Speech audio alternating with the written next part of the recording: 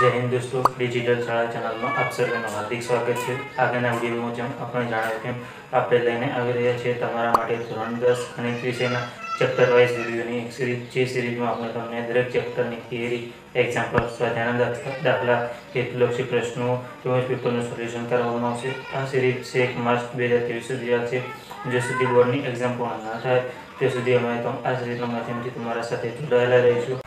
આ સિરીઝમાંનો આપણો આ પહેલો વીડિયો છે, જેમાં આપણે ચેપ્ટર વન વાસ્તવિક સંખ્યાઓ વિશે વાત કરીશું. તો આવો શરૂ કરીએ. તો સર્વપ્રથમ આપણે જોઈશું પ્રાકૃતિક સંખ્યાઓ. પ્રાકૃતિક સંખ્યાઓ એટલે એવી સંખ્યાઓ, જેમાં જે એક, બે, ત્રણ, ચાર, પાંચ છેક અનંત સુધી જતી સંખ્યાઓને પ્રાકૃતિક સંખ્યાઓ કહેવાય છે. જેમાં આપણે નાનપણથી ભણતા આવ્યા છીએ, એકડી, એક, બે, ત્રણથી જ શરૂઆત કરી હતી. એટલે કે આપણે પ્રાકૃતિક સંખ્યાઓથી ભણવાની શરૂઆત કરી હતી.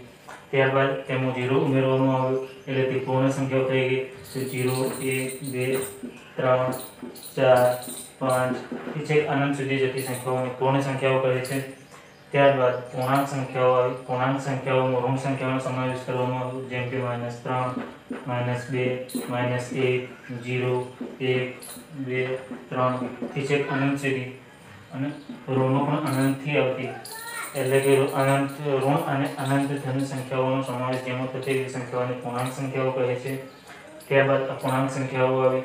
તો અપૂર્ણાંક સંખ્યાઓ જેમ આપણે જાણીએ છીએ તેમ one by two one by three પછી minus one by two minus one by five આવી જે સંખ્યાઓ હોય તેને અપૂર્ણાંક સંખ્યાઓ કહેવામાં આવે છે.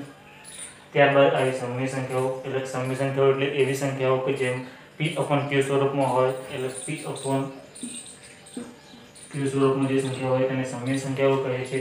જેમ કે અપૂર્ણાંક સંખ્યાઓ છે, પૂર્ણાંક સંખ્યાઓ છે, પ્રાકૃતિક સંખ્યાઓ છે. આ બધી સંખ્યાઓનો સમાવેશ સમય સંખ્યાઓમાં થઈ શકે છે. One by two one by five one by six આવી બધી સંખ્યાઓનો સમાવેશ સમય સંખ્યાઓમાં થાય છે. ત્યારબાદ અસમય સંખ્યાઓ, એટલે કે જે સંખ્યાઓ પી અપૂર્ણ ક્યુ સ્વરૂપમાં ન દર્શાવી શકાતી હોય, તેવી સંખ્યાઓને અસમય સંખ્યાઓ કહે છે. જેને પી અપૂર્ણ ક્યુ સ્વરૂપમાં ન દર્શાવી શકાતી હોય એટલે કે પી અપોન ક્યુ સ્વરૂપમાં ન દર્શાવી શકાતી એવી સંખ્યાઓનો પી અસમય સંખ્યાઓ કહે છે. એટલે કે જે સંખ્યાઓ સમય સંખ્યાઓ ન હોય તેવી સંખ્યાઓનો સમાવેશ અસમય સંખ્યાઓમાં થાય છે.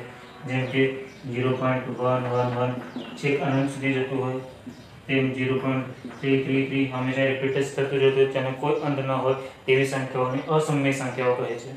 આવે છે મેં વાસ્તવિક સંખ્યાઓની કે વાસ્તવિક સંખ્યાઓ પણ કહેવામાં આવે? તો જે સંખ્યાઓ, આ બધી જ સંખ્યાઓ, એટલે કે પ્રાકૃતિક સંખ્યાઓ, પૂર્ણ સંખ્યાઓ, પૂર્ણાંક સંખ્યાઓ, અપૂર્ણાંક સંખ્યાઓ, સમય સંખ્યાઓ, અસમય સંખ્યાઓના આ બધી સંખ્યાઓનો જે સંખ્યામાં સમાવેશ થતો હોય, તે સંખ્યાને અસમ વાસ્તવિક સંખ્યાઓ કહેવામાં આવે છે. વાસ્તવિક સંખ્યાઓ એ એવો સંખ્યાગણ છે કે જેમાં બધી જ સંખ્યા ગણનો સમાવેશ થઈ રહ્યો છે. પ્રાકૃતિક સંખ્યાગણ પૂર્ણ સંખ્યાગણ અપૂર્ણાંક સંખ્યાઓ, પૂર્ણાંક સંખ્યાઓ, સમય સંખ્યાઓ, અસમય સંખ્યાઓ, આ બધી જ સંખ્યાઓનો સમાવેશ આ એક વાસ્તવિક સંખ્યામાં થઈ જતો, થઈ જાય છે. આમ આપણે વાસ્તવિક સંખ્યાઓ વિશે સમજ્યા કે જે સંખ્યામાં બધી જ સંખ્યાઓનો સમાવેશ થતો હોય તેવી સંખ્યાને વાસ્તવિક સંખ્યાગણ કહે છે. ત્યારબાદ આપણે યુક્લિડની ભાગ પ્રવિધિ વિશે સમજીશું. ચેપ્ટરના બીજા ઇમ્પોર્ટન્ટ ટોપિક ઉપર જઈએ. યુક્લિડની ભાગ પ્રવિધિ યુક્લિડની ભાગ પ્રવિધિ યુક્લિડના ભાગાકારના પૂર્વ પ્રમેય પર આધારિત છે.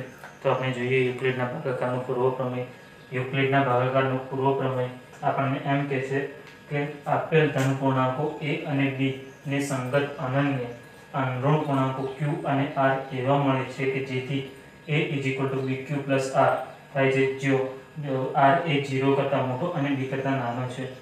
એટલે કે આ વસ્તુને આપણે એક સામાન્ય ઉદાહરણ દ્વારા સમજીએ. સામાન્ય ઉદાહરણ દાખલા તરીકે લઈ લઈએ આપણે બાર. બારને આપણે પાંચ વડે ભાગીએ. તો આપણને પાંચ વડે દસ, એટલે કે અહીં શેષ મળશે. તો અહીંયા જે બાર છે તેને આપણે ભાજ્ય કહીશું. કારણ કે તેનો ભાગ કરવામાં આવે છે. આ પાંચ છે તેને ભાજક કહીશું કારણ કે તે બારને ભાગે છે. ભાજક આ બે આપણને જે બે મળે તેને ભાગફળ કહીશું. ભાગફળ અને આ નીચે બે જે શેષ મળી શેષ તો અહીં આ જે એ છે, એ અહીં બાર છે. જે એ દ્વારા દર્શાવીશું. આ પાંચ ભાજક છે તેને બી કહીશું. આ બે મળ્યા. ભાગફળ તેને ક્યુ દ્વારા દર્શાવવામાં આવે છે? અને શેષને આર દ્વારા દર્શાવવામાં આવે છે. તો અહીં એ આ પ્રમેય ભાગ યુક્લિડના ભાગાકારનું પ્રમેય એમ કહે છે કે અહીં જે આ બંનેનો ગુણાકાર બી અને ક્યુ એટલે કે પાંચ અને બેનો ગુણાકાર કરી તેમનો શેષ આર ઉમેરવામાં આવે તો આપણને જે જવાબ મળે છે તે એ જેટલો, એટલે કે બાર જેટલો હશે. એટલે કે પાંચ, દસ વત્તા બે કરવામાં આવે તો બાર થાય, એટલે કે આટલું થઈ જાય. અહીં આપણે સમજી શકીએ છીએ કે ભાગફળ અને ભાજકનો ગુણાકાર કરવામાં આવે અને તેમનો શેષનો ઉમેરો કરવામાં આવે તો આપણને ભાજ્ય, એટલે કે એ પાછું મળે છે. તો અહીં આ વ્યાખ્યા પરથી આપણને સ્પષ્ટ થવું જોઈએ કે અહીં એ ઇઝ ઇક્વલ ટુ ભાજ્ય છે.